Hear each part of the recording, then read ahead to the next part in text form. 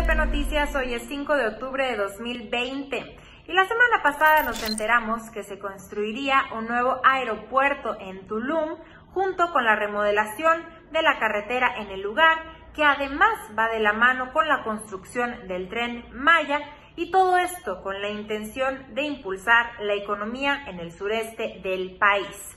Y el día de hoy nos enteramos que algunos empresarios de México como Carlos Slim, Carlos Salazar Lomelí, presidente del Consejo Coordinador Empresarial, y Antonio del Valle, presidente del Consejo Mexicano de Negocios, se reunieron con el presidente Andrés Manuel López Obrador para anunciar el plan de inversión de más de 297 mil millones de pesos para realizar 39 proyectos de infraestructura en sectores como energía, turismo, comunicaciones y medio ambiente.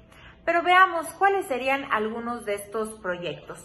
Cabe mencionar que siete de los 39 proyectos anunciados iniciaron desde diciembre del año pasado. Por ejemplo, la autopista urbana Siervo de la Nación en el Estado de México y Viaducto Santa Catarina en Nuevo León.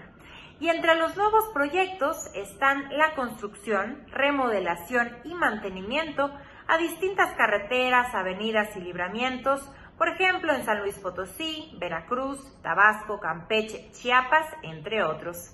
Y es que este crecimiento en México, producto de la alianza entre el sector privado y el público, beneficia la economía de nuestro país, sobre todo después de la crisis por el COVID-19.